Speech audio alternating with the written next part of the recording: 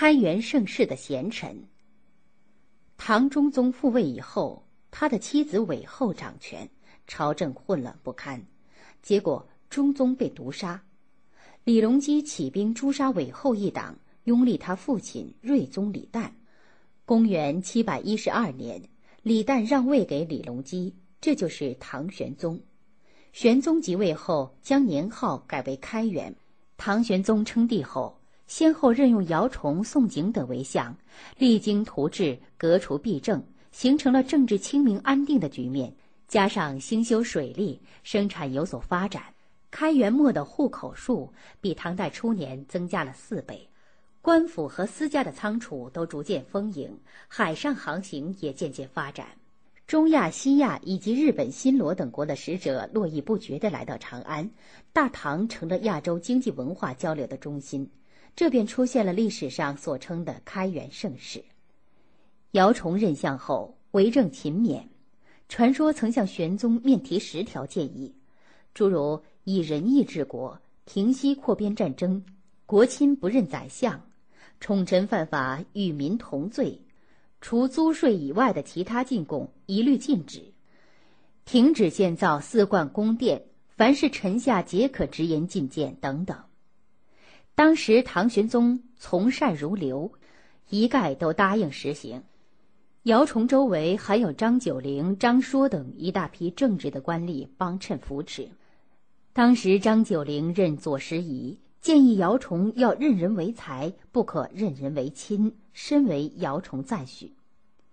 姚崇的两个儿子在东都当官，他们了解姚崇曾有恩于黄门监魏之谷，就想去开后门办事。魏之谷把这事报告了玄宗。过了几天，玄宗有意问姚崇：“你儿子才能怎样？现在任什么官职？”姚崇回答说：“我两个儿子在东都，他们办事不谨慎，做人欲望又多，肯定向魏之谷提出了不该提的要求。我至今还来不及问他们。”玄宗开始以为姚崇肯定要为他儿子隐瞒此事。听了姚崇的话，他非常高兴地问：“你怎么知道的呀？”姚崇说：“魏之谷未当官时，我曾经援助过他。我的两个儿子比较笨，以为魏之谷必然会感谢我，容忍他们为非作歹，所以胆敢去提要求开后门。”玄宗认为姚崇无私心，因而看不起魏之谷的忘恩负义，想罢斥魏之谷。姚崇却再三请求说：“我的儿子不该违背朝廷的法规，陛下已经宽恕了他们的罪行，就很幸运了。如果因此而罢斥了魏之谷，天下人必然以为陛下对我有私心，这样影响就不好了。”公元七百一十五年，开元三年，正当大唐开始出现兴盛气象之际，河北、山东一带。发生了严重的蝗灾，农民们以为是天灾降临，都在街头祭拜，而不敢消灭蝗虫。姚崇奏请朝廷派出御史到州县督促捕捉蝗虫，加以掩埋。但是商讨时，却有人提出，蝗虫太多，无法消灭。姚崇说：“现在蝗虫成灾，黄河南北的百姓都逃光了，怎能不去加以消灭？”眼睁睁地看着蝗虫将禾苗啃个精光呢，假使除之不尽，就像将蝗虫养起来造成灾害一样。玄宗终于批准了姚崇的意见。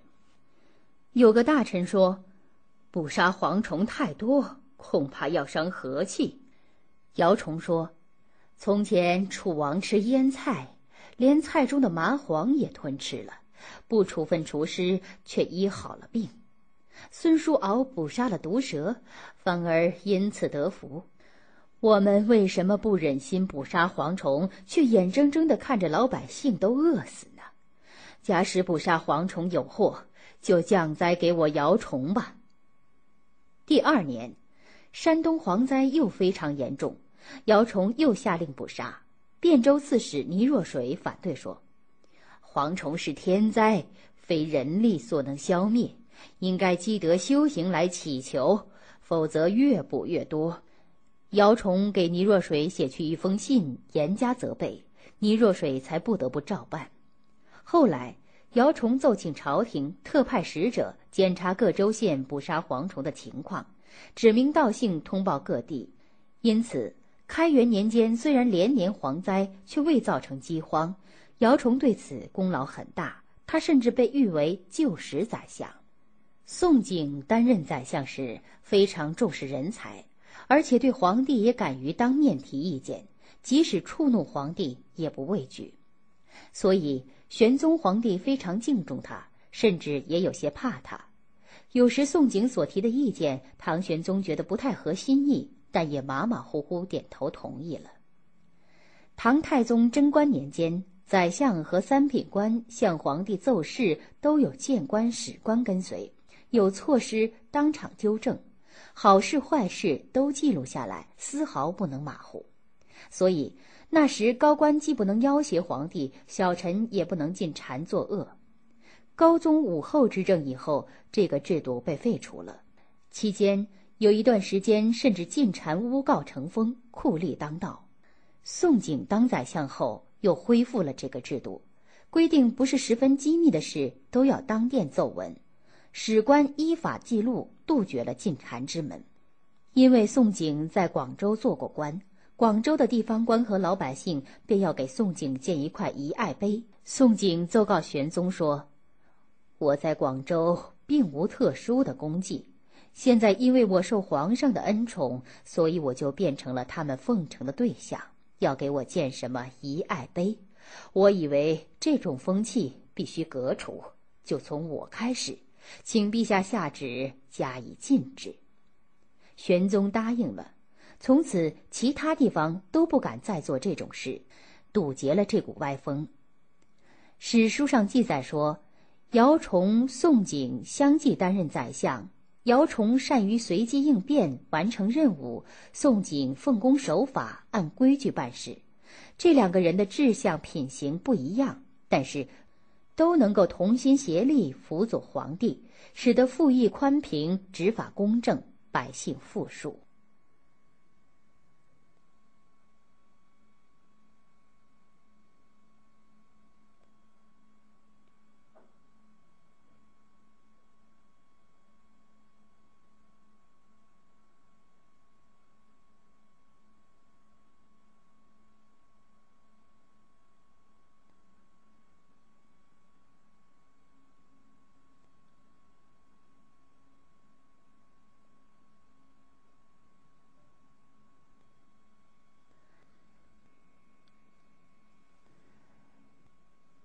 改张说为张悦。姚崇周围还有张九龄、张悦等一大批政治的官吏帮衬扶持。